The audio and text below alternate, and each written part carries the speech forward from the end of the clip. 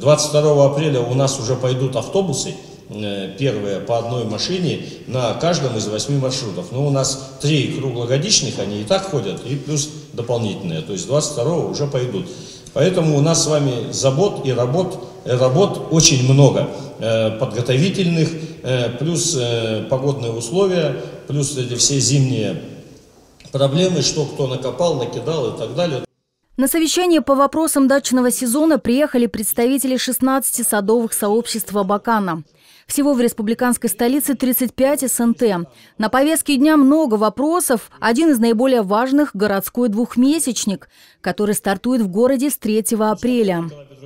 Постановлением администрации города Абакана раздел номер 6, он э, посвящен как раз рекомендации, которые необходимо выполнить э, на э, территории ваших обществ. Первое, это необходимо организовать работы по очистке и благоустройству территорий своих садоводческих, дачных, некоммерческих объединений, прилегающих на них территориях. А, второе. Обустроить площадки накопления твердых коммунальных отходов. Я на этом немножко попозже остановлюсь, а, поскольку это требует особого внимания.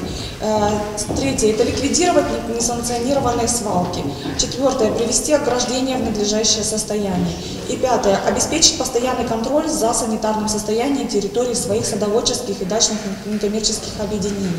Что касается дачных автобусов, то они пойдут согласно традиционному расписанию. Однако есть некоторые изменения, например, по 55-му маршруту на Калягинские холмы. Этот автобус будет проходить транзитом через восьмое кладбище.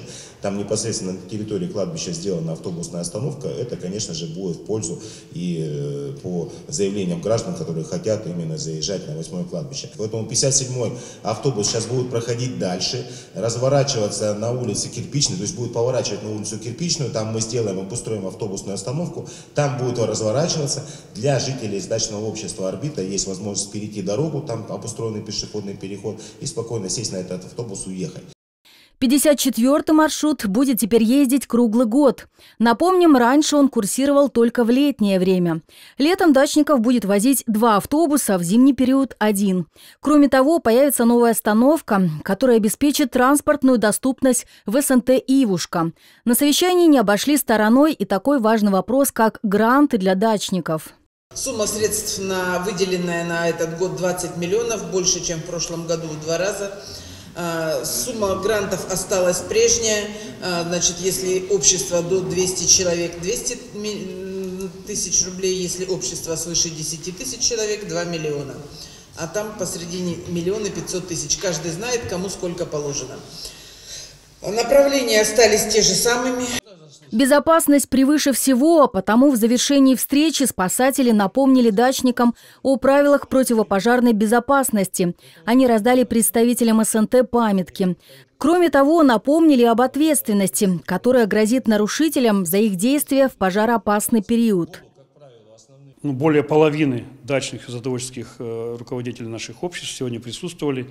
На мой взгляд, они получили все ответы на поставленные вопросы, э, в том числе мы вернулись опять э, к теме э, брошенных земельных участков, которые зарастают травой.